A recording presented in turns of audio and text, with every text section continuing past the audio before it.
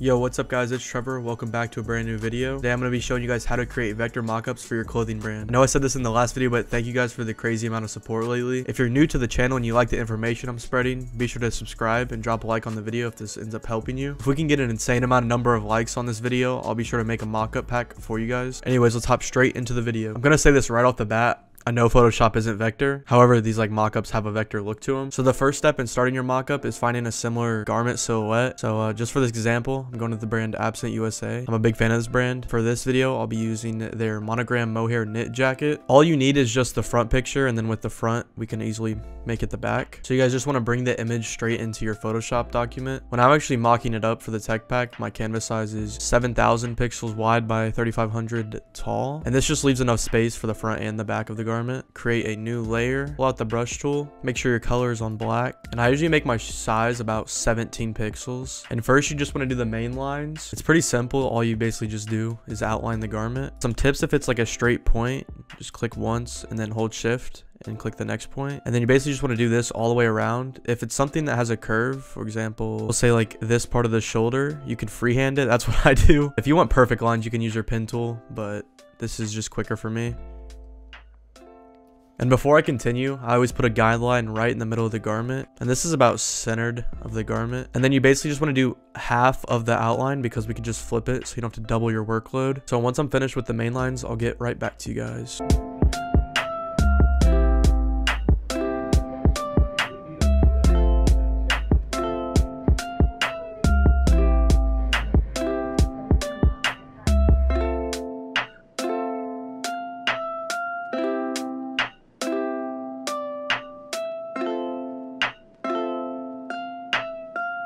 So once you guys are done with the main lines, it's actually time to get into the sewing lines and then adding on to the garment. So as you can see, we have a pretty basic outline. Sewing lines can be difficult because sometimes you can't see the sewing lines like on this garment. So you might have to reference past garments or garments that you already have. I'm just going to kind of guess where the sewing lines are at. And for sewing lines, I changed my size to about five. Also keep it black and create it on a new layer. You don't want to have it on the same layer as your bold lines. And for my sewing lines, like anywhere I think it's sewn, so obviously right here it'll be sewn. I do the same exact thing kind of a trash outline. This, there's got to be an easier way to this than what I do. Come to my eraser after I draw a bold line, and then I just go boop, boop, and try to space it about evenly. It doesn't have to be perfect. That's a sewing line. I know there's a, probably a way to make dotted lines that are straight, but this just works and it's easier for me, so it might be easier for you guys as well. Just want to do those sewing lines anywhere there will be sewing, and that'll just help your manufacturer out.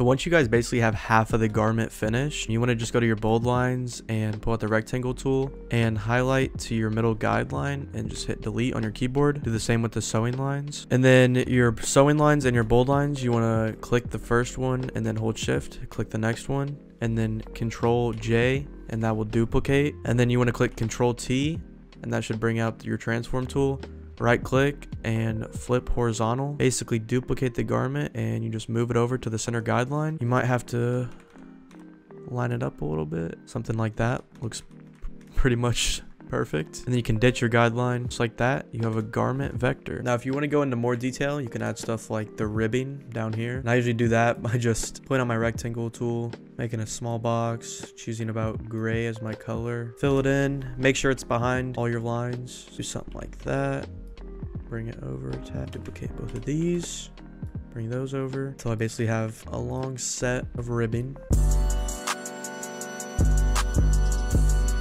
Group all these layers together by just clicking the first one, going down to the bottom, holding shift and clicking, and then click this folder icon that groups your layers together. And then just to speed up time, I'm just gonna click control E and that'll make it one layer, delete stuff that I do not want showing. And then I can use these exact same ribbing lines, duplicate them and use them for the cuff. And then duplicate it once more, flip horizontal and bring it to the other side. I actually forgot to do this step before I duplicated half of the garment and flipped it. So if you If you do this step before, it'll be a lot easier. I think they're a little too dark, so I'm just gonna lower the opacity. And that looks about done. The front of the garment simplified with no design. And then to do the back, it's a lot less work. So as long as you already have the front done, just wanna group all your layers together. So as you can see, if I hide the visibility, it all goes away. I'll just name this front and then you want to click control J, that'll duplicate it. Now you have an extra layer to mess with. And I uncheck this one, change this one just to back. And you basically just want to delete everything except the outside of the garment or what only shows on the front. So the zipper will be gone, the collar will look a little different, but overall the main garment will be exactly the same. Uncheck the zipper, go to my bold lines, delete the sewing lines for one half. So we only have half of the garment again. This just speeds up the process a little bit. Now we're back to half a garment. I'll bring my guideline into what I think would be the center, somewhat, somewhat like that. And then go to your bold lines and whatever would not appear on the back, delete it. So the collar would not look like this. Erase part of the collar. The top will still be there, but that part would not. And you basically just want to change it up a little bit. And there's the back of the collar. Also want to delete this line from the zipper.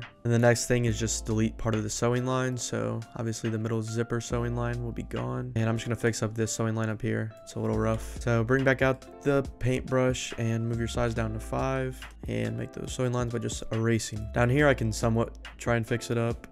It might look a little off, but nothing that'll be garment changing. I'm gonna fix up the waistband real quick. Now that you're back at half of the garment again, the exact same thing. So click all your layers, control J to duplicate, control T to transform, right click, flip horizontal, and then you can move your guideline out the way. There is the back of the garment finished. And if we bring back the front, move the back over here, front over here, and there's the front and the back of your mock-up. Now it's for the part where you can actually have fun. Let's say I wanted to add a pocket in the front, bring out my paintbrush, make it a main line because a pocket will be bold line. Now, if we wanted to add a pocket, we can find a similar garment that has a pocket that we like, bring it into Photoshop and try and resize it to about what the previous garment was in the background. That looks good. And go back to your bold lines layer, outline the pocket. I'll be doing this pocket as well, just for more demonstration. And we can do the sewing lines as well for the pocket. You can add a button too if you'd like, Put your elliptical tool. Then we can uncheck this layer and we got a pocket. We got two pockets actually. And if I want to reflect it, because obviously this bottom pocket, I definitely want on the other side. Can duplicate it again. Control T, right click, flip horizontal. As you can see, we got two pockets now at the top and then we have two bottom pockets that go into the garment. And with the pockets you guys can obviously change them to any shape you want. Just for this example i'm just copying the exact pockets Parker did with absent but you can obviously create any shape pocket that you would like. If you guys want to color it create a new layer outline the garment. I use the pen tool for this step.